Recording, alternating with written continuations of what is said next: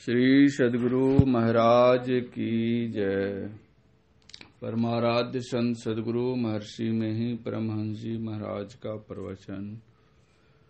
युक्ति से देखो तो बिंदु निकल आएगा।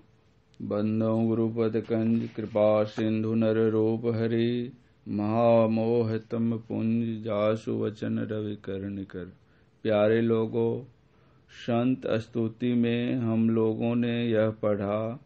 बिंदु ध्यान विधि, नाद ध्यान विधि, सरल सरल जग में परचारी।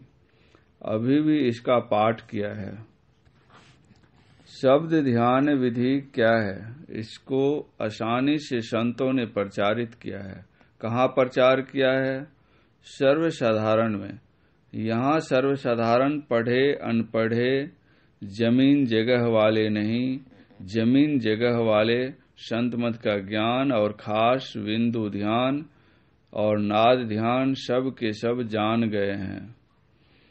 प्रचार की उपयोगिता यही है। पहले बिंदु ध्यान सीखो, फिर नाद ध्यान सीखो। बिंदु कहते हैं किसको? जिसका स्थान हो, परिमाण नहीं हो। परिमाण से मतलब मोटाई, चौड़ाई, लंबाई, ये सब कुछ न हो। तो क्या ऐसा चिन्ह बाहर में देखा है? ऐसा चिन्ह बाहर में हो ही नहीं सकता। इसके लिए अंदर में देखो और बाहर देखना छोड़ दो।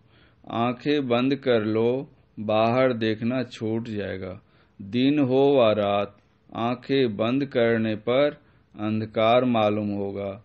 उनमें युक्ति से देखो तो बिंदु निकल आएगा। पलटू साहब ने कहा है, काजर दिहे से का भया? ताकन को ढवनाई ताकन को ढवनाही ताकन की गति है न्यारी। एक टक लेवे ताकि सोई है पी की प्यारी।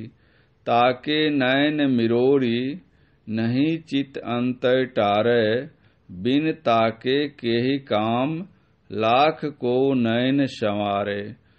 ताकन में है फेर फेर काजर में नाही। भंगी मिली जो नाही, नफा क्या जोग के माही। पलटू सनकारत रहे पिय को खिन खिन माही। काजर दिहे से का भया, ताकन को ढब नाही। ताकने में फेर है। कैसे देखो? आँखें बंद करके देखो। डीम है। पहले उजला, फिर काला, फिर पुतली है। उस पुतली में देखने की शक्ति है। उस देखने की शक्ति को या दोनों आँखों की शक्ति को मिलाकर एक जगह है, एक टक देखो। बाहर में भी कोई कर सकता है तो उसको हम मना नहीं करते। लेकिन बड़ा मुश्किल है बाहर में देखना। आँखें खोलकर देखने से बहुत चीज़ें देखी जाती हैं। उनको छोड़कर देखना कठिन है। हमारे यहाँ के योगी लोग आँखें बंद करके देखते थे। एक समय राजा परीक्षित वहाँ पहुँचे जहाँ शमिक मुनि आँखें बंद करके ध्यान कर रहे थे। ध्यानावस्था में रहने के कारण राजा परीक्षित का वे आदर नहीं कर सके। इसलिए राजा परीक्षित ने शमिक मुनि के गले में मरे हुए सांप को लपेट दिया। यह बात जब शमिक मुनि के पुत्र को मालूम हुई तो उन्होंने राजा को शाप दिया।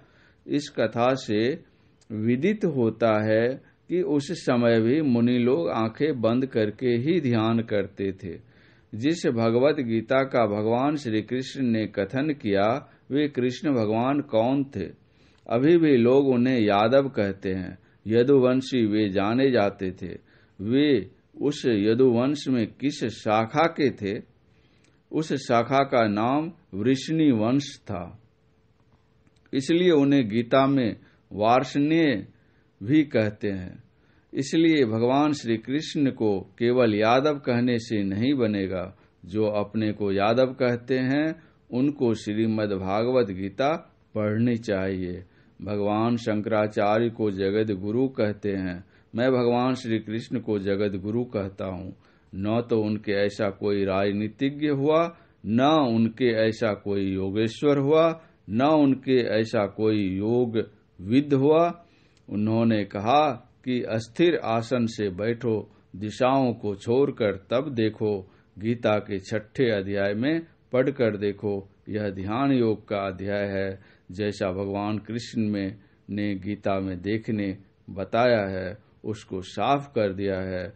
सूरदास जी ने कहा, नयन नासिका अग्र है, तहा ब्रह्म को वास, अविनाशी विनशय नहीं। हो सहज ज्योति प्रकाश। इस तरह देखो, जहाँ कुछ देखा जाता है, वहाँ कुछ सुना भी जाता है। इसलिए पलटू साहब ने कहा, विंदु में तहनाद बोले, रैन दिवस सुहावनंग ये दोनों चीज़ें विंदु और नाद ध्यान हो गई। विंदु ध्यान कैसे करें और नाद ध्यान कैसे करें? दोनों आँखों की दृष्टियों को, धारों की धारों को एक जगह करके देखो तो बिंदु का उदय हो जाएगा। यह, वह काल्पनिक नहीं, प्रत्यक्ष ज्योतिर्मय बिंदु होगा। उपनिषदकार ने कहा, लिखा है, तेजो बिंदु परंग ध्यानंग विश्वात्म हृदय संस्थितम। अर्थात तेजस बिंदु का ध्यान ही परम ध्यान है और वहीं से नाद सुनने में आने लग जाता है। नाद परमात्मा से जा मिलाता है, क्योंकि नाद का उदय या आविर्भाव ईश्वर से होता है। इसलिए उस नाद की साधना कीजिए। साधो शब्द साधना कीजिए। जे ही शब्द से प्रगट भय सब सोई शब्द गही लीजे। शब्द ही गुरु शब्द सुनी शिष्य भे, शब्द सो वीरला बुझे, सोई शिष्य, सोई गुरु महातम जे ही अंतर्गति सूझे। शब्द वेद पुराण कहते हैं, शब्द सब ठहरावे, शब्द सूर मुनि संत कहते हैं, शब्द भेद नहीं पावे। शब्द सुनी सुनी भेष धरत हैं, शब्द कहे अनुरागी शट दर्शन सब शब्द कहते हैं, शब्द कहे वैरागी। शब्द माया, जग उत्पानी शब्द केरी पसारा, कहे कबीर, जहाँ शब्द होत है, तवन भेद है न्यारा। यह संत कबीर साहब ने कहा और गुरु नानक साहब ने कहा, शब्द ततो वीरज संसार, शब्दु निरालमु अपार अपार।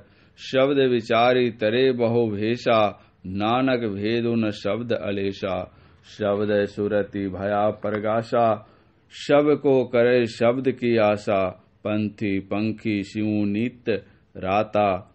नानक शब्द शब्द पछाता, हाट बाट शब्द का खेलू। विनु शब्द क्यों होवे मेलू। सारी सृष्टि शब्द के पाछे, नानक शब्द घटे घटी आछे। बिंदु का ज्ञान नहीं हो तो शब्द का ज्ञान नहीं होगा। मेरा झुकाव इसी तरफ़ है। भगवान श्री कृष्ण केवल गोप लोगों के गुरु माने जाएँ, ऐसी बात नहीं। संसार भर के वे गुरु थे। श्रीमद् भागवत गीता के अनुवाद के लिए शायद ही कोई भाषा बच गई हो, जिसमें उसका अनुवाद न हुआ हो। इस प्रवचन का शेष अंतिम भाग अगले प्रवचन पाठ में। यह प्रवचन बिहार राज्य अंतर्गत पूर्णिया ज़िले के झालीघाट गाँव में दिनांक 6 ग्यारह उन्नीस सौ अस्सी ईस्वी को हुआ था। श्री सदगुरु महाराज की जय।